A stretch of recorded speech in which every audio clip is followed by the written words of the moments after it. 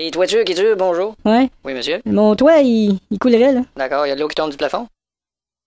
Allô?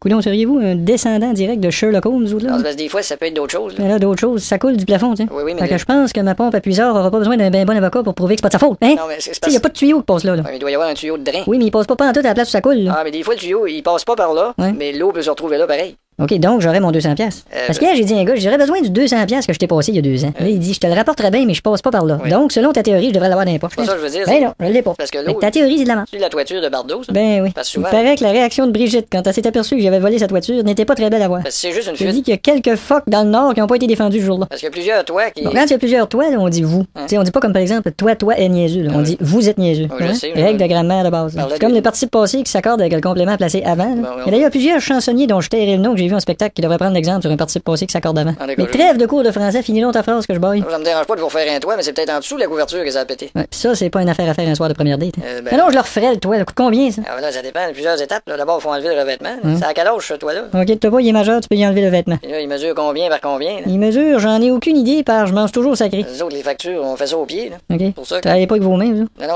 c'est- la. Vous quelque chose, écrire sur le numéro de TPS avec une boîte de jobber? Qu'il y a la préparation aussi. euh. C'est quoi la préparation? C'est- C'est long, ça coûte cher, c'est quoi? Ben, ça, ça dépend de votre gouttière. là. Ah, mais c'est ma gouttière qui a fait, on va m'arranger avec, puis parle-moi en même pas. Ah, puis il y a le type d'équipement aussi, comme votre toit, c'est une pente abrupte, euh, Hein? ça descend tu raide?